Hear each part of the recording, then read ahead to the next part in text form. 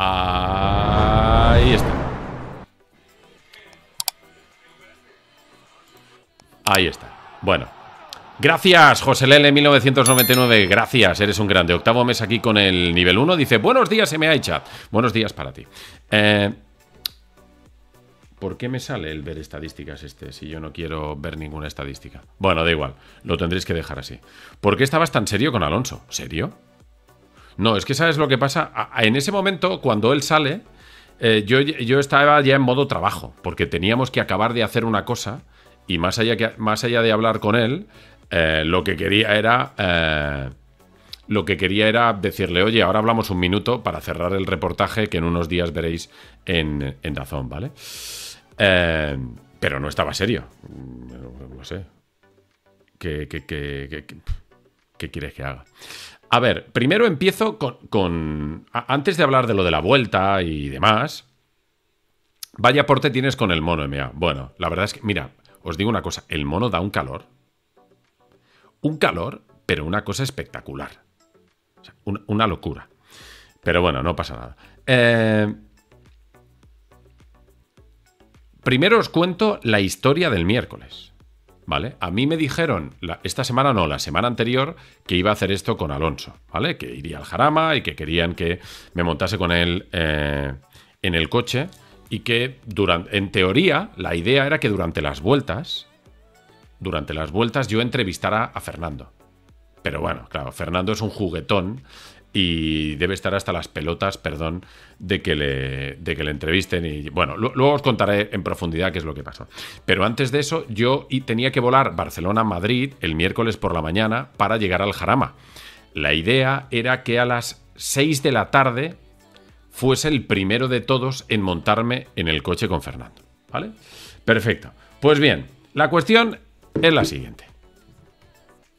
La cuestión es que eh, yo llego al aeropuerto el miércoles.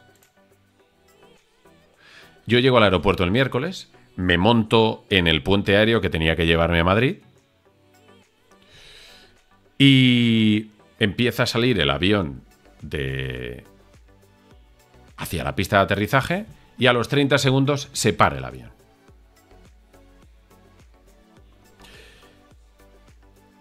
Se para el avión y nos dice el comandante del avión que hay un problema técnico. Vale. Que tienen que venir de mantenimiento a ver el avión. Perfecto. Viene eh, los de mantenimiento del avión. Esto era a las 12 del mediodía. Yo tenía que estar a, a las 6, insisto, en el Jarama montado en el coche con Fernando. Llegan los de mantenimiento, hacen el check-in al avión y cuando pasan 45 minutos, es decir, yo ya debería haber aterrizado en Madrid y todavía estaba en Barcelona en el avión, nos dicen que el vuelo se cancela. El vuelo se cancela y nos dicen, ahora salís afuera que os darán una alternativa. Entre que se canceló el vuelo y llegamos de nuevo a la terminal, pasó otra hora, más o menos. Y cuando llegamos a la terminal, claro, Iberia, que era la compañía con la que volaba, dio alternativas a gente que tenía conexiones internacionales, gente que volaba a Bogotá, gente que, volaba a Split, creo que fueron, antes que a la gente que íbamos a Madrid. Entonces, hablé con Dazón, oye, pasa esto, me han cancelado el vuelo mm, eh, y no me ponen otro vuelo ya. Ya llevo dos vuelos cancelados en dos semanas, ¿vale? Bueno, cosas que pasan. Me dice Dazón, cógete la moto, porque yo me muevo en moto, vete corriendo a Sants, que es la estación de tren de Barcelona, cógete un ave que llega a Atocha a las 6 menos 5. 6 menos 5. Yo a las 6 tenía que estar montado en el coche con Fernando. Cojo la moto, mm, superando algún límite de velocidad, ahora que no nos escucha nadie, que no debería haber superado. Llego a Sans, aparco la moto, llego a tiempo al AVE, me subo al AVE.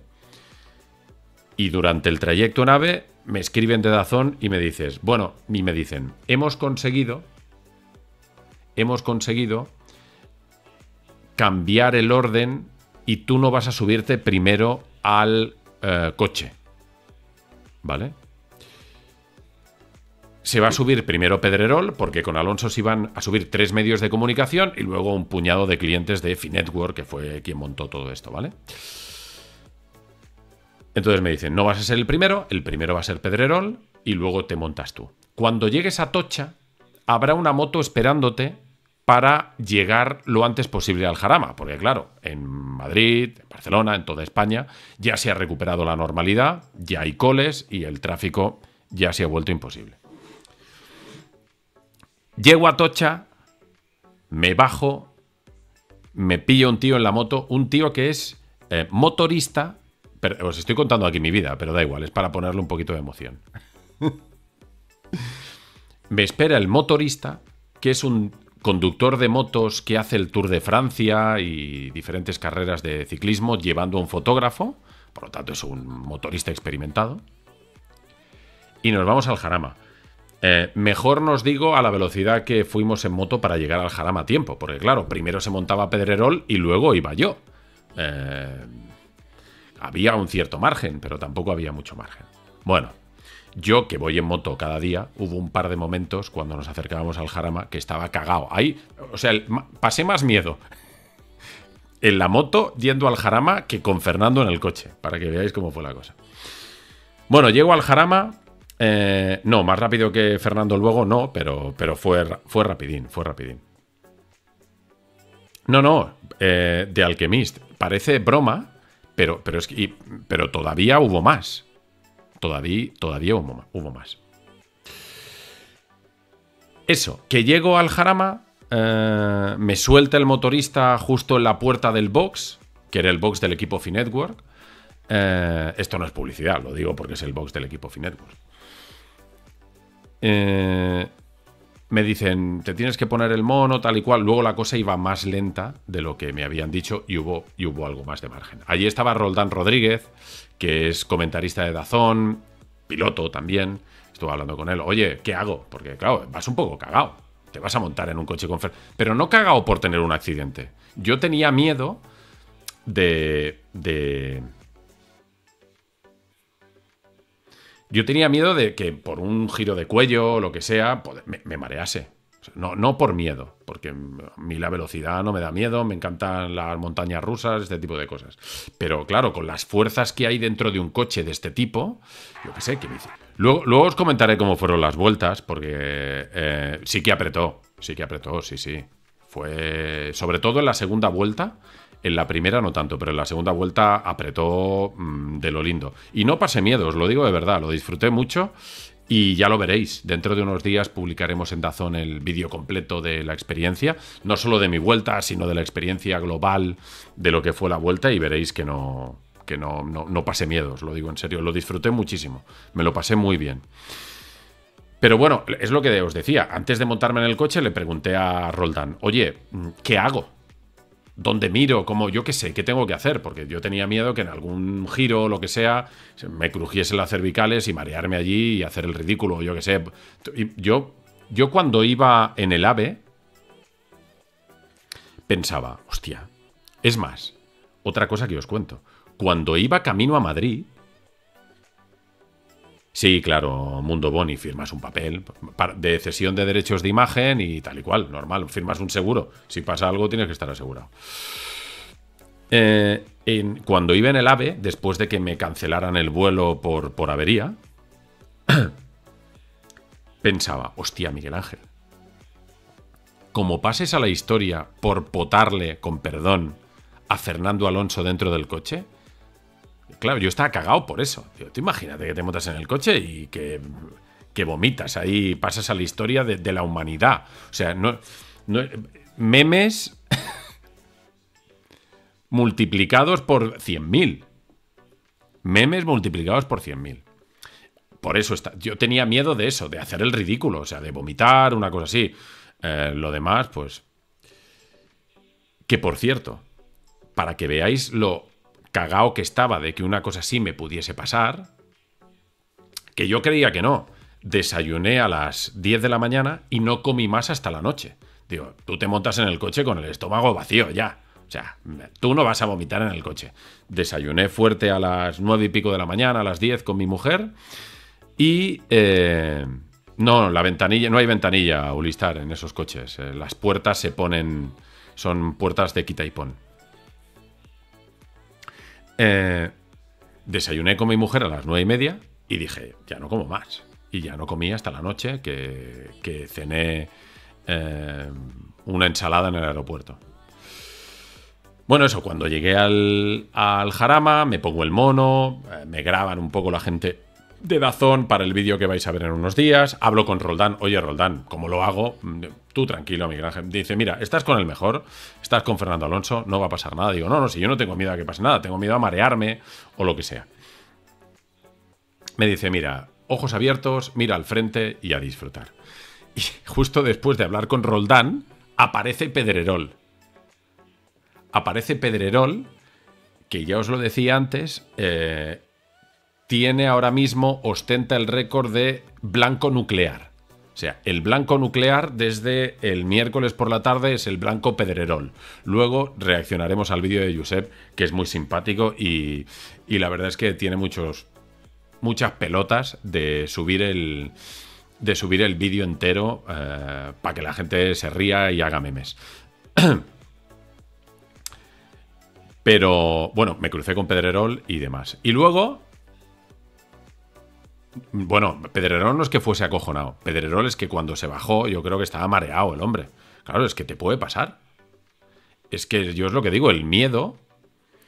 El miedo es incontrolable. Cuando tú, por lo que sea, él se montó y vio cómo aceleraba aquello, le entró miedo, eso ya es, no te lo quitas. Por mucho que quieras, no te lo quitas. O sea, el, esto es como cuando te montas en avión te montas en avión, sabes que no hay accidentes de avión nunca o casi nunca y que las... Eh, ¿Cómo se llama esto? Cuando vibre el avión, no me sale ahora. No me acuerdo, no me, no me sale la palabra ahora. Las turbulencias. Te explican los pilotos y demás. eh, te explican que con las turbulencias eh, no pasa nada, que, que es segurísimo, que el avión ni se entera y tú mm, se mueve un poco el avión y depende cómo te cagas. Y si hay una turbulencia eh, estilo Dragon Khan, pues te cagas y cabe un poquito más. Pero bueno, es lo que decimos, el miedo es incontrolable.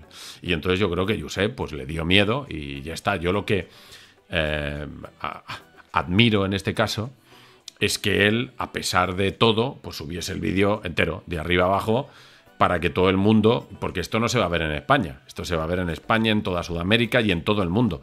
Porque claro, la reacción de, de Josep es eh, tan, entre comillas, internacional, que, que es algo que van a entender en todo el mundo. O sea, si alguien ve este vídeo en Finlandia, que no eh, entienden el castellano, van a comprender perfectamente qué es lo que le pasa a Pedrerol. Pero bueno, eso. Antes de subirme yo al coche me crucé con Josep, que ya, ya os decía antes que solo me pudo decir dos palabras. Solo me pudo decir... Me hizo así. Ya está. Eh, y luego me subí yo al coche. Pero antes de contaros cómo fue la experiencia en el coche, porque como os decía antes, hay cosas que hice durante la vuelta que no, que no me acuerdo. O sea, hay, hay compañeros que han visto mi vuelta con. eh, han visto la onboard con Fernando y e hice cosas que no me acuerdo. Lo que pasa es que no os puedo contar qué es, porque si no se pierde el factor sorpresa. ¿Vale? Eh, para redondear el día, para que veáis cómo fue el día, cuando acabo de dar la vuelta, teníamos que acabar de grabar una cosa con Fernando. Y entonces el acto se fue estirando. Para no llegar tarde al avión, me volvió a recoger el motorista que me había llevado de Atocha a al Jarama y me llevó del Jarama a Barajas. Si en la ida fuimos rápido, en la vuelta fuimos más. Pero lo peor no es eso. Lo peor es que después de que me cancelasen el vuelo, de tener que ir corriendo a la estación a coger el ave, de ir en moto y montarme con Fernando Alonso en la vuelta, también corriendo con la moto, y cuando llego al mostrador, cuando llego al mostrador de Iberia, os estoy contando mi vida, ¿eh? pero bueno, da igual, hoy es un, hoy es un directo distinto. Cuando llego al mostrador, me dicen que no tengo asiento, que no tengo billete. Y le digo, ¿cómo que no tengo billete? ¿Y esto? No, no, sí, billete tiene. Pero, eh, ¿por qué no ha viajado usted en la ida? Es que no nos consta en el. en el ordenador que haya viajado en la ida. Digo, ¿cómo? Digo, si no he viajado porque me habéis cancelado el vuelo, cabrones. Así no se lo dije, ¿eh? eh si, no he viajado, es porque no me. porque me habéis cancelado el vuelo y no me habéis dado alternativa para venir. He tenido que ir corriendo a coger un ave. ¿Qué me estás contando? Ya, pero claro, es que en el ordenador no consta. Déjeme usted ver si queda algún billete. Y digo, ¿pero qué me estás contando? ¿Pero qué me estás diciendo, tío? O sea, ¿me vas a dejar, me vas a dejar en, tierra ahora? Digo, si ya me dejáis aquí en tierra, me da un parraque. Y entonces la señorita, eh, sí, habían vendido mi asiento. Salí ganando porque estaba en el 31D y al final solo quedaba un asiento. Fila 7. ¡Pam! El único asiento libre lo pillé. Y entonces ya volví, ya volví a casa. Pero bueno, hasta aquí todo el día. Por lo tanto, imaginaos cuando llegué a casa como tenía la adrenalina, o sea, la tenía más que disparada. Y luego, porque ahora se va a asomar Alex Pintanela al canal, os cuento cómo fueron las dos vueltas. Pero solo os digo eh, una cosa. Las vueltas fueron de tal intensidad. Solo voy a decir una cosa para crear hype. Y es lo siguiente. Eh, a ver, yo soy alonsista desde de toda la vida, desde 2004 o antes, porque sigo su carrera desde la época de Minardi, ¿vale? Pero lo del miércoles, Fernando me ganó. Y lo de ayer, y hasta aquí voy a leer, lo de ayer me ganó más, ¿vale? Lo de ayer me ganó más, pero yo sé que es un profesional, que es un tío que está acostumbrado a hacer este tipo de cosas, que mm, quiero decir, que la gente en la Fórmula 1 es muy consciente de cómo debe ser el trato con la gente, con los medios y demás, pero fue súper cercano, súper amable, eh, dio más de lo que debía dar, o sea, no es aquí decir, mira, yo soy profesional, eh, tengo que hacer esto, hago esto y no más. Eh, me vio en gallumbos, Fernando, luego lo explicaré. Me vio en gallumbos, Alonso. Ya os, contaré luego por qué, pero me, vio en gallumbos. Muy bien, la verdad es que muy bien. Emea, ¿tú tuviste la sensación de que Alonso iba a tope? No, claro que no iba a tope. No iba a tope por dos motivos. Primero, porque no eh, puedes montar a gente normal en un coche e ir a tope, porque no estamos preparados físicamente para que él vaya a tope. Te puedes bajar de ahí con un... Gracias te puedes bajar de ahí con un esguince cervical mm, y, tenerte que ir al hospital a, a que te pongan un collarín. ¿Vale? Además de que puedes vomitar, además de que puedes mm, cagarte encima, o sea, que te entre una descomposición de estómago. ¿Vale? Y luego porque Alonso tampoco te puede poner al 100%. Porque tú imagínate que Alonso dice, mira, con este voy a dar una vuelta al 100% como si fuese una vuelta de entrenamiento de Gran Premio.